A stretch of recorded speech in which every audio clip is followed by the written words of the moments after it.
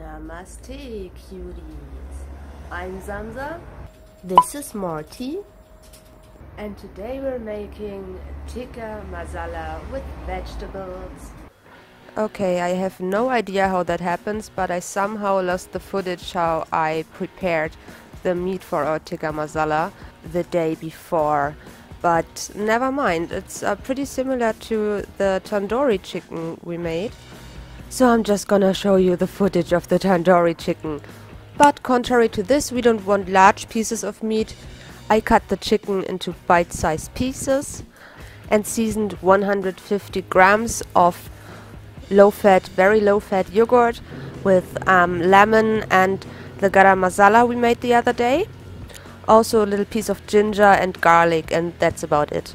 Let that marinate for at least an hour, but I prefer to do that overnight. So for our tikka masala we need the garam masala we made the other day, or a store-bought version if you like, two servings of rice, a bell pepper, fresh ginger and garlic, red onions, diced tomatoes, I had peeled tomatoes, but I already diced them in my food processor.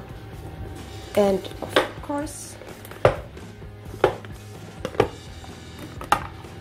our chicken we prepared yesterday. Oh my god, I can already smell the spices.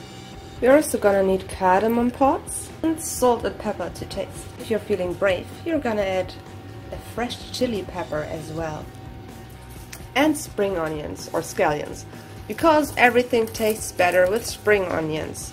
So these are all the ingredients we need for an amazing tikka masala. So no, if no, we no, no, no, no, no, no, no, no. Let me stop you right there. That is no tikka masala. mm, yeah it is. No, it's not.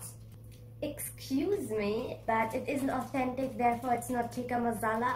If you want to make an authentic Indian dish, you need to follow the recipe. Yeah, but I don't know. I, I think it would be a little bland without any color in it. Yeah, but don't call it tikka masala then. Ugh, Can you imagine there are people out there putting potatoes in vindaloo curry? I put potatoes in my vindaloo, but I don't eat rice with it. That's outrageous. That's cultural appropriation. Well, I like it. And if it's healthy and tasty, hmm, Sure, Jen.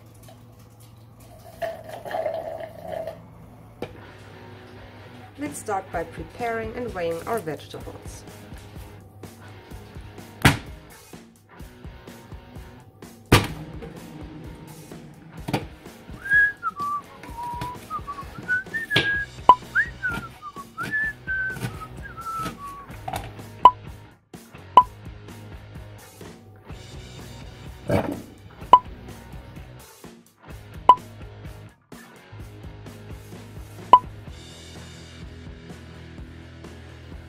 Crush your garlic clove and mince or grate the ginger.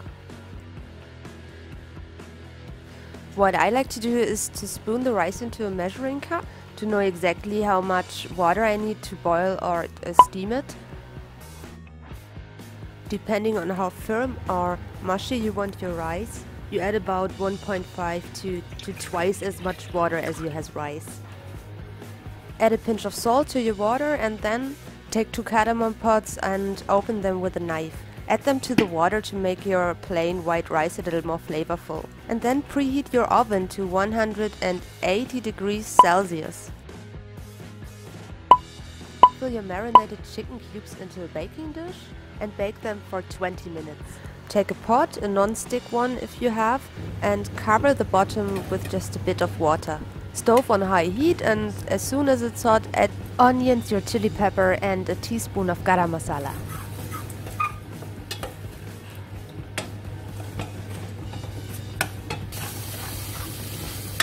You will immediately smell the intense aroma of the spices. Now add your ginger and your garlic. Also add a little bit more water if you feel it's necessary.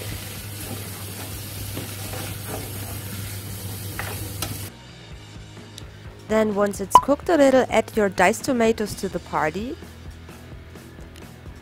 Stir and combine your ingredients and then set your stove to medium-high heat and let the sauce reduce a little. This is absolutely optional, but once you added the chicken breast and the tikka masala is basically done, you can add a little bit more yogurt. I personally love that. But let's not put the cart before the horse. At first you want to add your vegetables.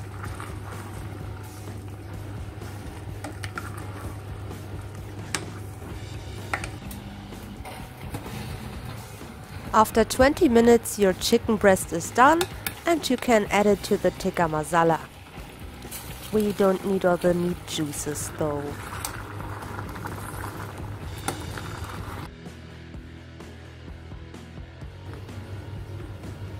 Um, yum, yum, yum. I added the 80 grams of yogurt and it's perfect.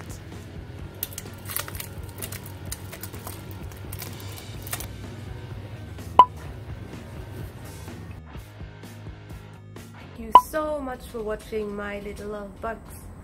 The tikka masala was amazing and we had this awesome lemon cake for dessert. Mm. Disgusting! I was thinking about maybe vlogging or doing a story time, but then I figured that I have such a small following and to keep my feet on the ground, nobody cares. Maybe I will do it anyway. I'm following a lot of vlog channels and I like listening to their, in some cases, absorbing stories, so we'll see about that later. Don't forget, you can't go wrong as long as you're having fun. And stay strong during these troubling times. Sharing toilet paper. Share your toilet paper with someone in need. And please consider subscribing, liking the video and commenting, especially if you have a favorite food you want to see a lower calorie version of. So see you tomorrow for another recipe. Bye!